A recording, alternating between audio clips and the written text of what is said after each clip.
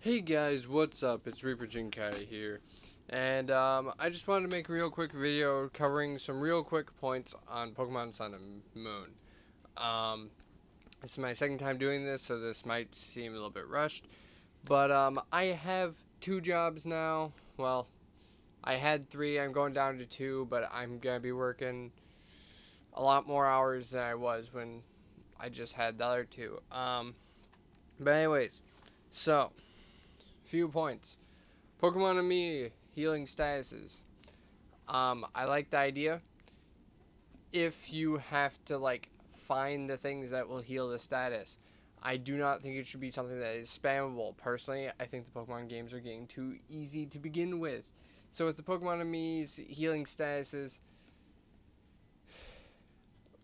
that's more money. It's literally just saying buy potions and Pokeballs, forget everything else too easy.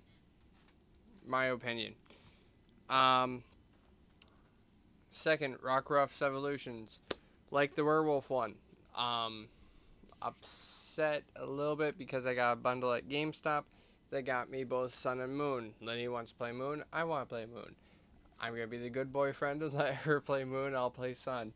Um, so maybe something later I'll talk about might change that uh, to where we'll both be playing Moon.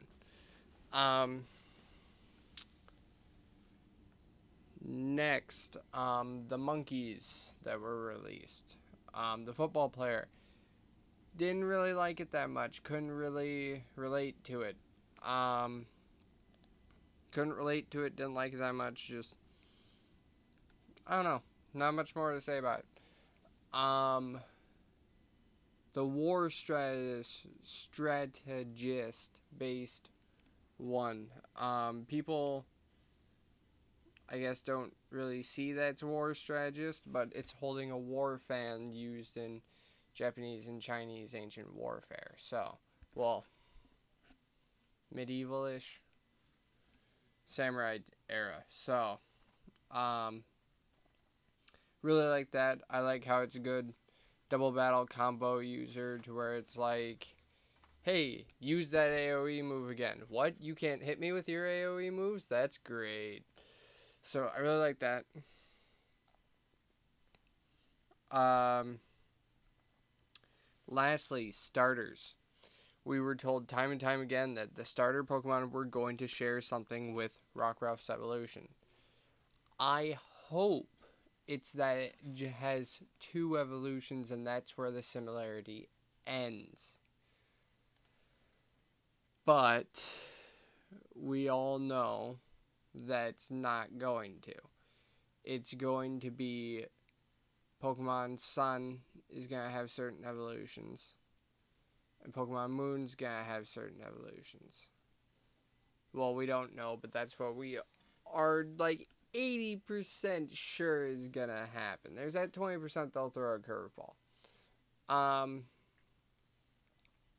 and honestly, if Pokemon Sun comes out with a bunch of evolutions that I don't like, I'm probably gonna cancel my pre-order for this bundle that GameStop had and just get two Pokemon Moons because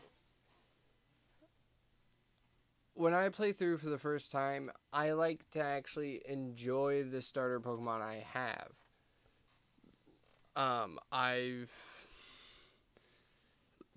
let's see, second gen I tried playing through with Chikorita. And I was enjoying it until I got to the first gym because you can't use Chikorita in the first gym. So then my Chikora Chikorita is incredibly weaker than something else I caught. I think it was a Geodude. Or an Onix I traded for. And I started not to enjoy it because now it's a grind to catch it back up and I just boxed it. I don't want to do that in Pokemon Sun because it's like because I don't enjoy how the Pokemon works or it's just I don't know. That's just me though. So if the Pokemon Sun starters are something that I don't like, I will probably switch to Pokemon Moon to where I will get the Rowlet Archer evolution. Because, well, that's what everybody's thinking the moon.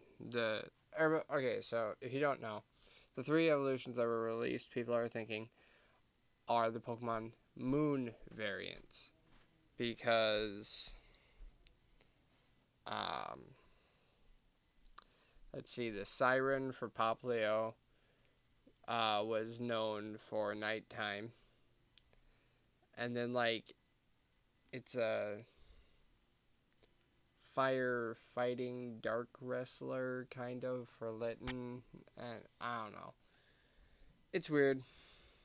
I don't know exactly how they came to that conclusion, but looking at them, I would put them in the moon category. I don't know about anybody else, but whatever. So that's all I got to talk about. I hope you guys enjoyed. I will see you guys next time.